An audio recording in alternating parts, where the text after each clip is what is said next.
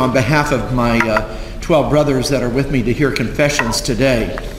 We're going to be doing that and they will be explaining further as you go in different shifts to which directions, but I want to introduce them to you, let you know where they will be stationed, and then the opportunities that you'll have during your different specific times for uh, the opportunity of the sacrament of reconciliation. Before we get into the, the introduction, I just want to remind you that uh, the sacrament is not a counseling session, and especially with the numbers that we have here of close to 800 and there's only 12 of us, we're not going to have time to tarry. uh, we don't need descriptions. Uh, we don't need explanations. I would invite you just, if you would, to probably present maybe the two or three sins that weigh heaviest on your mind and heart and know that probably the rest of those will fall under those different categories at any rate. Uh, we invite you also to make the act of contrition before you come into the sacrament. Uh, then you'll receive, uh, if you would, as you enter into the sacrament, let the priest know how long it has been since your last confession. Then he'll hear your confession, give you individual absolution, and, uh, and then uh, penance assigned to you in that regard, and the opportunity to come back into the sanctuary before the Blessed Sacrament to offer that opportunity. I personally just want to thank you on behalf of the clergy of the diocese, uh, both Bishops Deshotel and Farrell, to uh, thank you for your presence here. Uh, it's not only what you say and do here, more importantly, it's going to, what it's going to be what happens once you leave here today and the seed that you have an opportunity to plant into the lives of your families and your friends and your, and your places of work, the other lives that you'll touch that have been graced by what you experience here today. So I want to thank you for that. Let me see if I can uh, if I can invite the clergy up a little bit closer now so I can see who I'm introducing here. I'll know. Let me get their stations correct.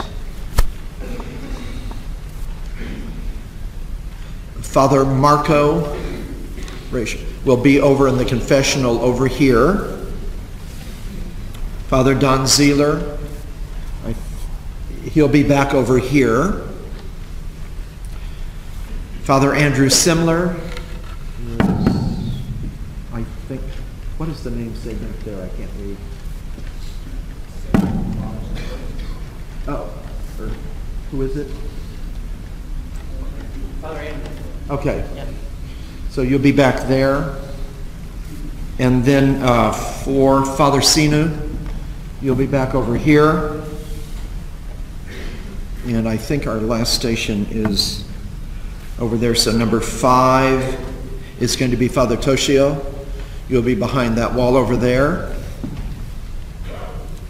Father, uh, Father Jim Ballant, our pastor emeritus of Prince of Peace, is going to be in the reconciliation room, which is kind of, as you see that uh, pillar, somebody's pointing to it now, kind of, you'll see him heading in that direction. I will be in the uh, Eucharistic chapel hearing reconciliation. And then uh, the rest of you are going to have to work for it. Um, if you go down the hallway, uh, that you know where you registered this morning, where they've got the displays set up. There's a hallway perpendicular to that.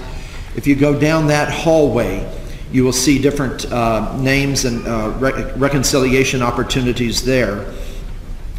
Uh, so, Bill uh, uh, Hewitt, there you are. you're going to be in classroom 110. And then Father Leo, you're going to be in classroom 111.